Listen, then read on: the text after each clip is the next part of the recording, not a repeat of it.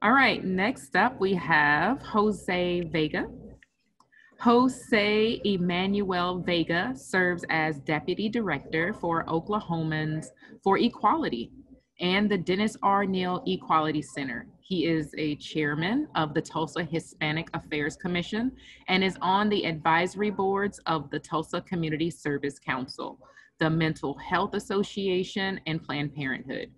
Jose is passionate about promoting diversity, eliminating homophobia, and advocating for LGBTQ hate crime protections and rights. Please, everybody, welcome Jose Vega. Hello, everyone. Um, yes, so uh, my name is Jose Manuel Vega. I work for, for Oklahomans for Equality, the Dennis R. Neal Equality Center, and it's the seventh largest LGBTQ community center in the entire world. And it's located here in Tulsa, Oklahoma, which is amazing. It's beautiful.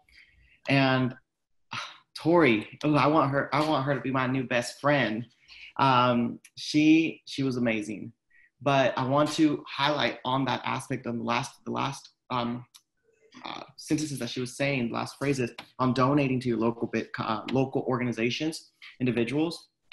This is important because the Dennis R. Neal Equality Center, Oklahoma for Equality, does not receive any federal funds, state funds, or city funds. We are basically, basically on individuals who donate, on family foundations, on individuals who it's heartbreaking. They come in, I only have five dollars, but I want to give it to the organization because of all the work they do and help my community. And there's only seven employees to run the Equality Center, and we're open from nine to nine every single day. Christmas, New Year's, Mother's Day, Father's Day, um, Thanksgiving, it's every day. And now with COVID 19, we did have to um, close the center, um, pay cuts were established, but all of us were stay, stay, staying together and working for um, the cause. So I want to talk a little bit about my story and what inspires me to move and help continue on the, uh, um, the, or, the organization and um, my life mission.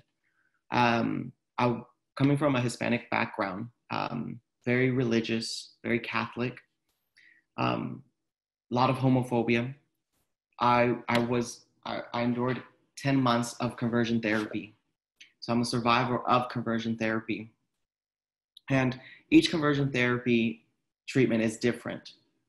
I'll share a little bit about my experience for 10 months. Um, it was praying as soon, I had to wake up early. So as soon as I woke up before going to school, it was always three hours before. And I had to be on my knees for three hours in the morning, praying, and then at night, before going to bed, it was another three hours on my knees praying. Then droplets were introduced, and these were, um, I remember it was a small black bottle, and I had to take these drops after every meal, after every activity, after if I had impure thoughts, and so forth. It was making me sick, and I was just throwing everything up, not keeping any food down.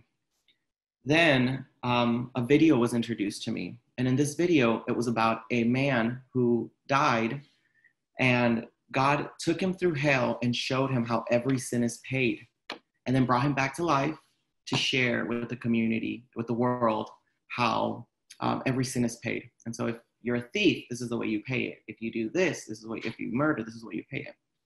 Not to be graphic, but um, for, for the first month or so, I had to watch the entire film. And then afterwards, it was just, he just needs to watch the homosexuality film. We need to embed it in his mind. And every time I talk about it, it is like a video cassette playing in my head exactly per word and phrase that it says. To summarize, is I was 14 at this time. The way that homosexuality is paid in hell is by a hot metal rod penetrated through the anal canal, up through the body, and out the throat at multiple times.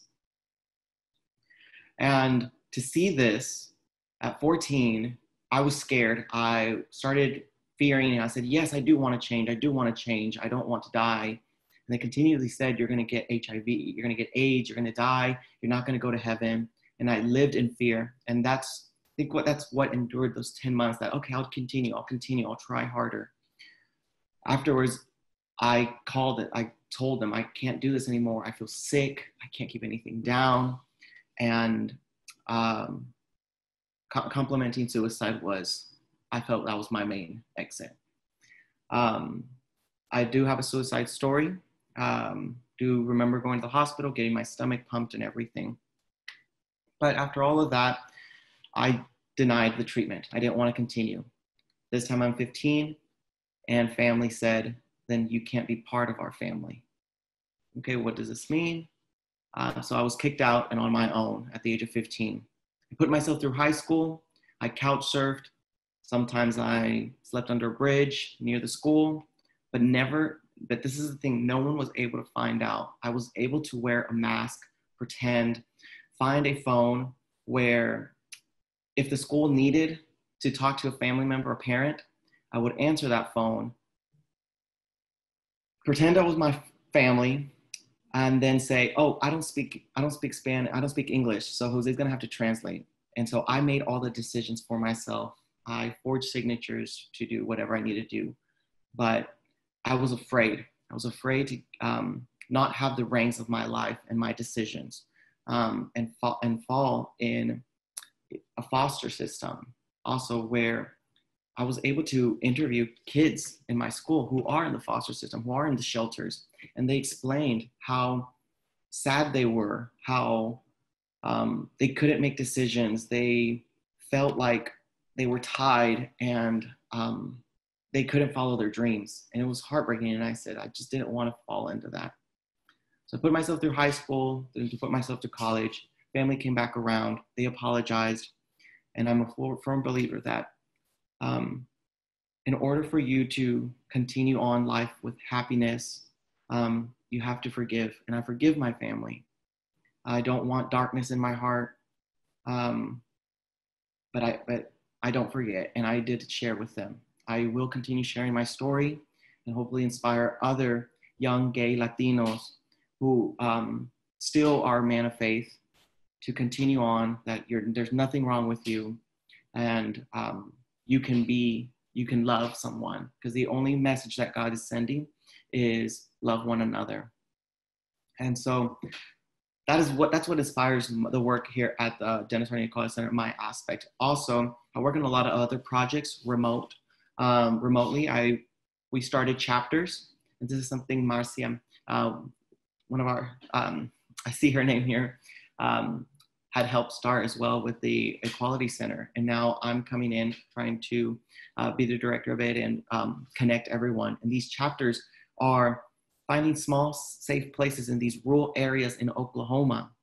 And whenever we do small pride gatherings, um, small get togethers, hearing young LGBTQ individuals saying, I thought nothing like this ever existed anywhere.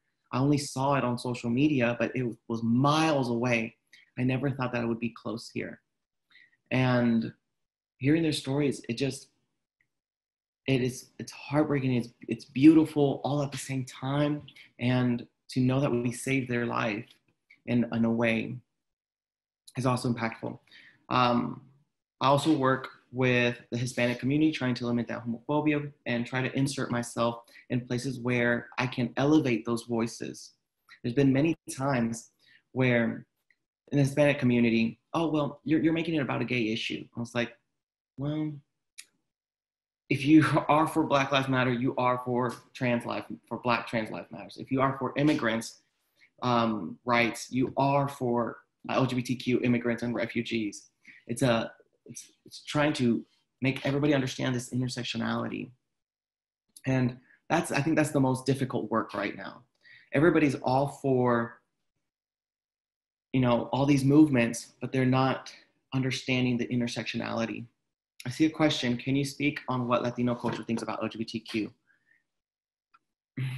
They, it's, it's, it's not fully accepted. It's not accepted. It's not accepted. And what do they think? There's a lot of machismo.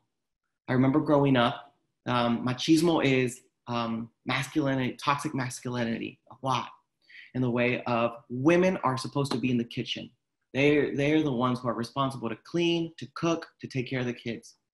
The man is supposed to do the heavy lifting, do the bring the food, bring um, money to the house, bring uh, food to the house, um, and do all of that, all, all of the male female characteristic stuff. And I remember growing up on that. I remember hating getting dirty and having to go work with my dad, either lawn stuff or doing things. I just I want to be with my aunts, with my female cousins in the kitchen, cooking and so forth. And they constantly kept saying, that is maricon. Maricon is translated is faggot in Spanish. And growing up, constantly being told that you are a maricon, you are a maricon if you want to be with your aunts, if you're working, if you're playing with dolls with your female cousins, if you're if you're a maricon, if you know you don't play soccer with your cousins outside, with your male cousins, and so forth. So it, it was it's very it's very toxic. A lot of individuals, a lot of LGBTQ folks, families that I've worked with, and I've tried to help them understand when their daughter, their son, come out as trans, bisexual, um, LG, any LG, any letter in the LGBTQ community, when they come out, the family's always like, "Where did I mess up? What what did I do wrong? Um, I didn't take her to church enough. Um, I should not have let her hang out with those friends of hers." And they continue to blame themselves. And what I try to do is help them understand that there's nothing wrong with them that they are still the individual that they grew up, that they love and adore.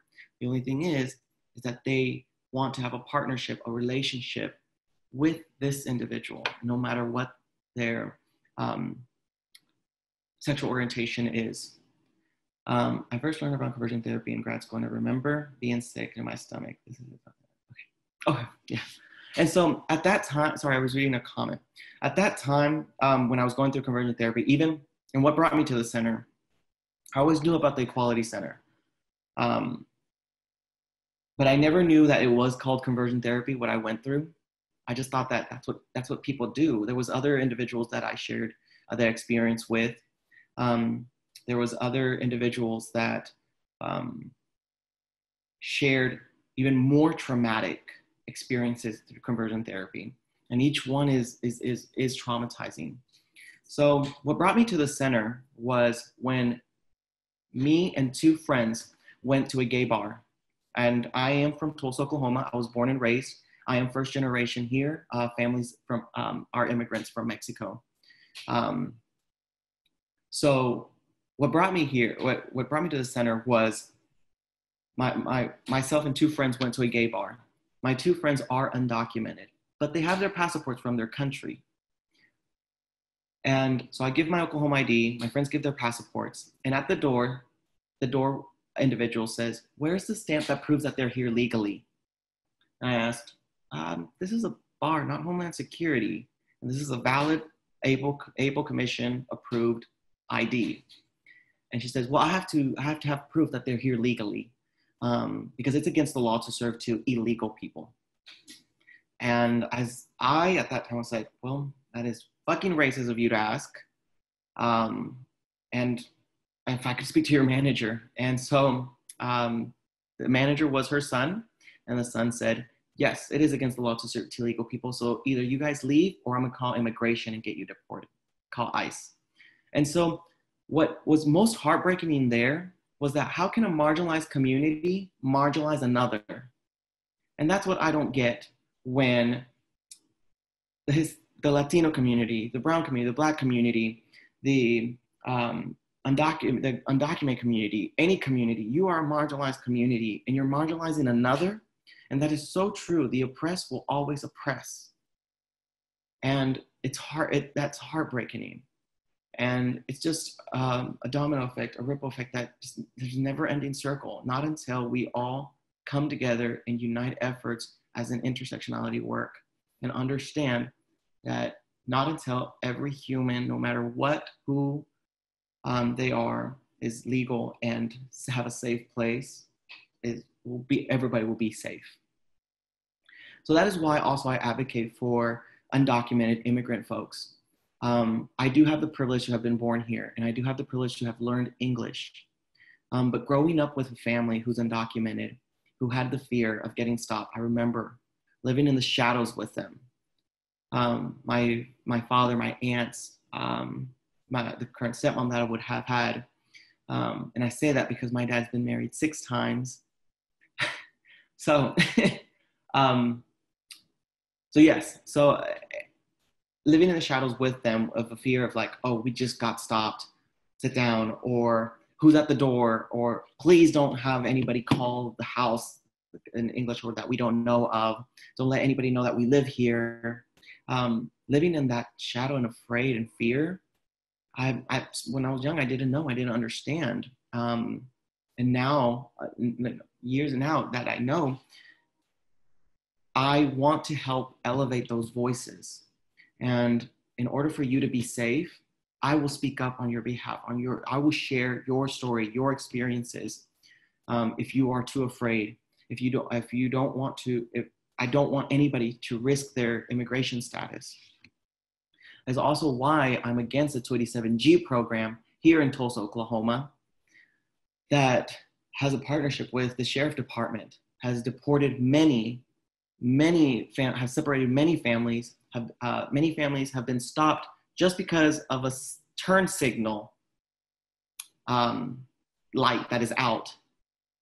And they get stopped, they get, they get booked into the David O. Moss Sheriff um, Police Jail. And once they're booked and they find out, oh, he's undocumented, quickly an ICE hold, quickly. And there, separation of family. Um, and you people advocate and fight and try to get them out bond. And there's several, several families, several stories where I paid the bond. He should be out. Well, i already took him this morning. We forgot to tell you. And it's it's it's it's heartbreaking. It's heartbreaking also hearing two stories that came to us, letting us know that two LGBTQ individuals were brutally raped and assaulted during an ICE hold here at the Tulsa County Jail. And once the Equality Center got involved and started doing the investigation, they got transferred. Oh well, they got transferred. So like now they now it's another city and state's problem. So um, we, we can't give you that we can't give you that information because now it's under federal law. And so it's like you're you're constantly making barriers. You're constantly trying to drown these individuals in suffering, and you, there's nothing you can do. And so those are all the things why I fight for what I fight. And with this year, with with Trump coming to Tulsa um, with him had selected on Juneteenth and now doing a political stunt of, oh, no, I'm just, I scheduled, I rescheduled it just for you all and so forth. It was a political stunt. There's so much things that I started talking about, like now we need to do a little bit of self-care because it, it, it, it gets, it gets to the point it's too much. At the Equality Center, whenever there's a Black Lives Matter rally, we are there. Whenever there is an immigrants rally, we are there. Whenever there's an um, rally because they because somebody because 45 has made a uh, Muslim ban, we are there. When uh, when there's an attack right now, there was uh, Terry spoke about the attack on transgender individuals on the healthcare and the Affordable Care Act. We're there. We're, we're all in these intersectionality works. What's heartbreaking in is seeing the community that whenever there is an LGBTQ issue, those individuals, those leaders fail to report whenever we do a rally. It's only LGBTQ people and the most progressive individuals that who have a family member who's LGBT. Um, and that's where I, uh, I've decided to start helping individuals understand the intersectionality work. Um, there's lots of work to do here in Oklahoma still. Um, we do not have hate crime protection. We do not have employment protection. We do not have housing protection. We do not have public accommodation protection. Tulsa has housing protection, but it was pushed for many, many years. And finally, that's just a, that's just here. Here's a nipple. Please keep your mouth shut. We got other things to do, and just throw just throw a bone. The city of Tulsa did um, add um, LGBTQ protection employment, and just last year, I see Dr. Laura Arrowsmith, who also helped with this. Um, add transgender protection, employment protection in um, their employment policies. And now they have Blue Cross Blue Shield to um, for transgender benefits for city employees. And so it's such a great example, but there's much more we can do. Um, and I say this because the city of Norman in Oklahoma has all those protections in place. They have housing protection, they have employment protection, they have public accommodation, and they have hate crime. They have, how does the city of Norman have all of these and Tulsa being the second city, second largest city, or even Oklahoma City, but Tulsa on behalf, because that's where I live, that's where I work, that's where I play, and that's where I advocate and work with our mayor. If Tulsa's so welcoming, so progressive, and so awesome, and oh, we're moving the, the ring for the, the needle forward. Well, no, you're not. Smoke and mirrors. That's how I feel now. And things might fall into place later, but I'm at I'm at a point, and I think this is where all advocate are because I never take off my hat. If you work for the LGBT community center, you're never taking off your hat on LGBT on right on equal human equal rights. And people are tired. People who are who aren't who aren't getting paid to do to do the advocacy work. Um, and I, I work for the people. I'm a servant of the people. So when I tell people I'm working for you, people are tired. They have a nine to five job. They have family to feed and take care and have family time. And then they also have to get out of their house and go protest. Of course, people are tired.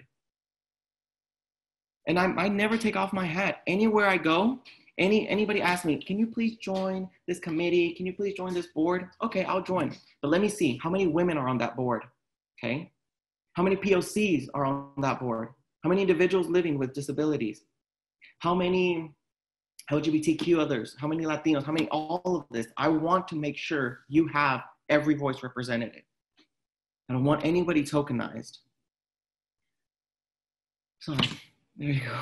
I think I think this is a whole thing like of of having to express and share. I see a question, so I'm gonna go ahead and read it. Um, are you aware of any conver- uh, conversion therapy places in Oklahoma?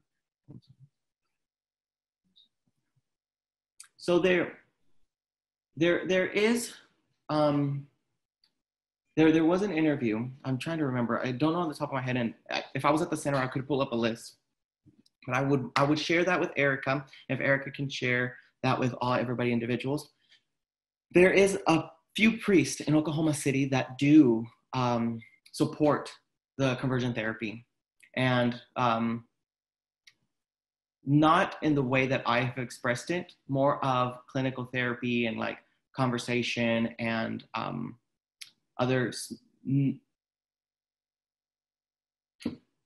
non-lethal methods about that because I say non-lethal um, because they're not indigesting or putting things in their body. It's just conversations, but don't want to diminish the effects of it. But there are, and for the first time in history, um, this year's le- legislation it only went out of committee, but a bill to ban conversion therapy um, with individuals who have a um, license. Um, so, like a psychologist or anybody cannot never practice those. And it was just a little glimpse of hope, just a little glimpse. And it went out of committee and it was amazing. It, it felt wonderful. But just like that, boom, it was gone. There's so much more work still needing to be done. Um, but yeah, do you ever go to uh, speak in Tulsa schools? I have. I have joined some talks at the GSA's Gay Straight Alliance programs, um, the Gender and Sexuality Alliances in schools. I have spoken. We have a great, amazing partnership with um, Tulsa um, Youth Services. They have GSA coordinators um, and navigators. And so we have done a lot of youth programming. I do see uh, Shannon Fair on this call. She is amazing. She runs, uh, she helps run along with um, two other individuals at the Equality Center, Alphabet Soup, where we try to teach um, and have a build a sense of community within our youth, um, LGBTQ youths. And I have been a guest speaker there. She has many guest speakers come in and share their story, how to advocate in their own schools, their neighborhoods, um, and so forth. My kids attend. Oh, good. yes, it is beautiful. And it's these individuals who they we all might not change the entire world, but we can change our world. We are changing and impacting individuals who we are close reach. But it's it's it's at a larger level that where where we need help. It's constantly trickling down um, to to us uh, all of these issues and problems. Um, Jose. Yes. Are you aware of any conversion therapy places in Oklahoma? And if so, are there groups, policies, or anything we can do as counseling professionals to shut them down?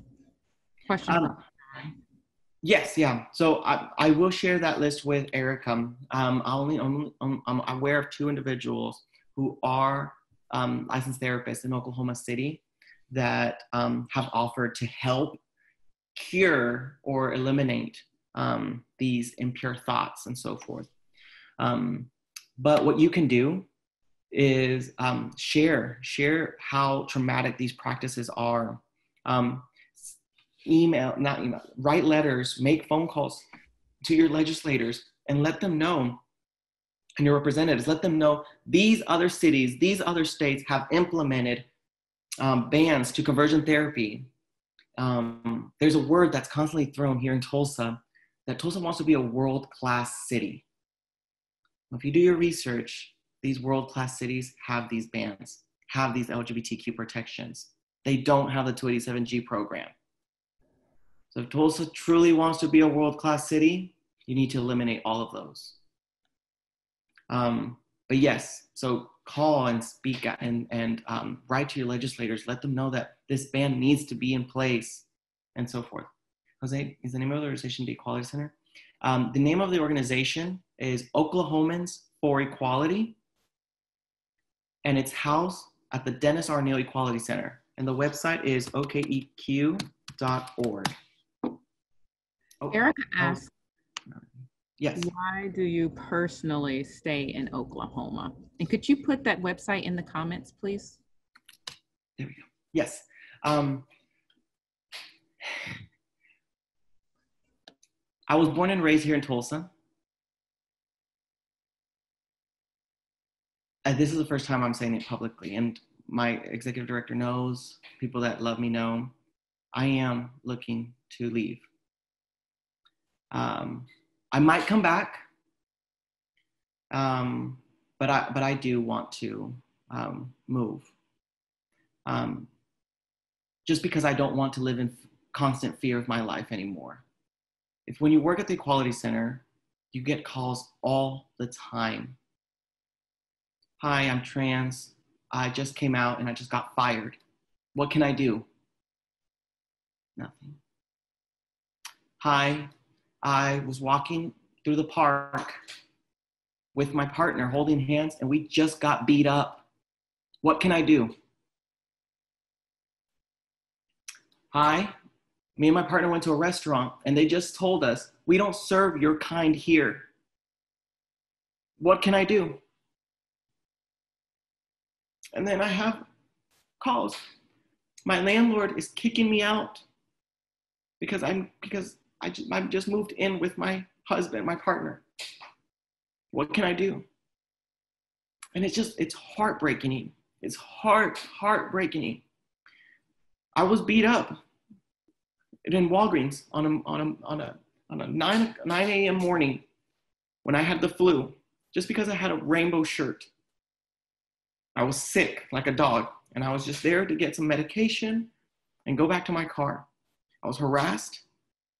And as LGBTQ individuals who are harassed, we just know to block him. You know what? Look the other way. I'm done. Not right now. And he, he wouldn't leave me alone. I went to my car shut the door, pull it out. He broke my my my mirror, opened the door, and start beating me inside. Start spitting at me. And start calling me homophobic slurs and racial slurs. And when the officer came and took the report, he said, The only reason I can consider this a hate crime is because he used racial slurs. And right then and there, I'm only half of who I am is protected. So for individuals to live in constant fear, that's why, that is why individuals leave, they move, they go to New York, they go to California, they go to other places more progressive because they want to have what? Hetero relationships have a family, a safe place, a neighborhood, the white picket fence, safety for their kids to run around and have and be safe. So why have I stayed here and I'm still advocating? I am. I am because I, I understand that when you move and leave, nobody stays here. Nobody's here to help. But I've, I've, I've been doing it for six years. And I know there's other people who've done it for way longer. And you know what? I bow to you. Wow. You are amazing, strong individual. But do I really, I, I've questioned myself, do I really, I'm 27 and I've done this for six years. Do I really want my whole youth, my whole young 20s to be focused on a fight on a, at a system that is not built for me? And and I, I want to live life. I, I, want I want to be happy. I deserve to be happy. And so what I want is inspire others. That's all I, that's is the reason why I, I, I started and I continue to advocate. I want to inspire. I want to help others and say, you know what, even if it's for one year, even if it's for five years, if it's for 20 years, if it's for your entire life, you do what you can do. I've done, I'm doing what I can do. But that, that's the reason why. That's the reason why I'm still here. That's the reason why I'm fighting. I hope to inspire another gay Latino boy born and raised in North Tulsa, where where we where the odds are always against stacked against them. But then you, you, there's a world out there for you. There's others like there for you. These rural areas also highlight, find safe places, and let people know that you are here. You're queer and you're not going anywhere. It is time. And when, the, when this administration has been reversing so many things that the previous administration, Trump, uh, the Obama administration, oh, please, Trump, please, please don't, please, has done, reversing all of those, it's throwing us way back again. And just gotta continue fighting. It's fighting and fighting. And question is, when is fighting done? When, are, when is fighting over? When is, when is, when is, when is enjoy life, be happy, and live your best life time? When, it, when is that? When is that gonna be? And so I can only, I only want to inspire people to continue working. Um, and I do, I do, I do plan to move. Um, and I might come back, I might not, whatever the world and destiny has where placed me. But I know that anywhere I go, anywhere, anything I do, I will continue advocating for intersectionality. Any board, any committee they ask me to be joined, I will continue opening eyes and telling them where are these voices being represented. We need to make space for them. I only I can I can only wish everybody um, good health and good happiness because that's what I want. And inspire folks to register to vote. Yes. Well said. Yes. Also that. Um, uh, that's something that I've also been working with the uh, Hispanic community, uh, Latinx. There's a lot of um, fear. So as the, I'm, I'm the chair of the Hispanic Affairs Commission. And so with this commission, it is um, to build a bridge within the Hispanic community to the city of Tulsa. And there's these all these all, all these uh, fears of well the census are here, and I was I was shocked. I was shocked of even finding out within my family. Uh, my family said we were we, we, we've been here for years We've never filled out these census. What is this? Just this year. And to help, I helped educate every, all uh, what the census were and why it's important. Well, well are, are they going to come find me? Because I do still have undocumented family members. And hearing how they fear for, the, for you know, their life is another thing why I fight for them. But also with registering, registering to vote oh, I just got my citizenship. I got my papers. Okay, now, now what, what's next? Now I can finally, their, their thing, their thing is now I can finally, finally go work and not have the fear of getting fired with no repercussions.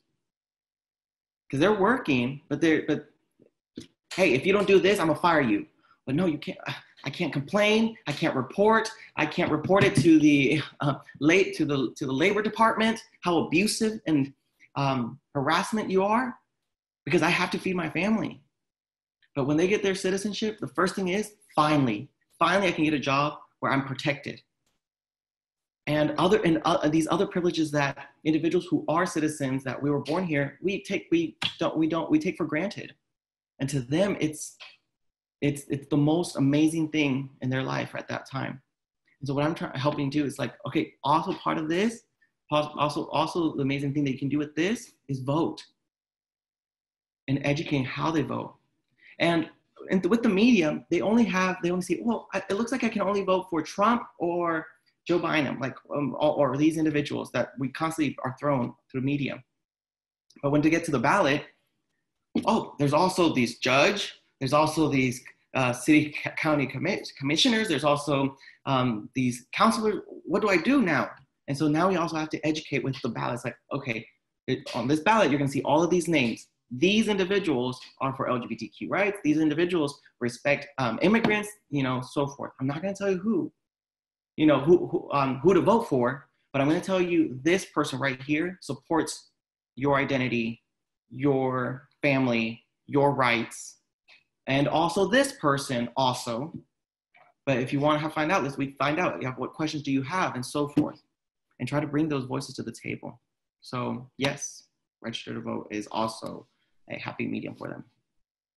Thank you I so much. Add, oh, I just want to add before um, on to registering to vote. If y'all are in Oklahoma and you're voting absentee because it's a little safer with COVID, I am a notary uh, you can reach out to me and I will notarize your ballot for you. And Jose and uh, Toby, if you'd like me to set something up to come down to the Equality Center, I will be happy to. If any of y'all are with organizations in Oklahoma that you would like to do that, I'm happy to do that. And I'm involved with a group of affirming and open notaries.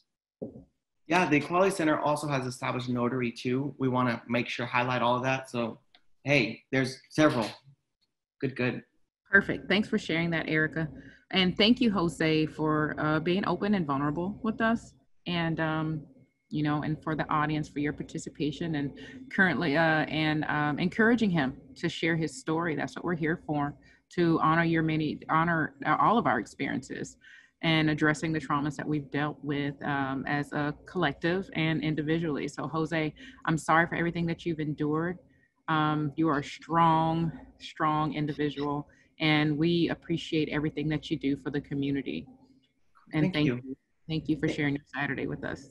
Yeah, thank you everyone for your time. And if there's anything we can do, please, the website's there. I'm going to go ahead and put my email address as well. And Perfect. the Equality Center is here for everyone. Thank you, Jose.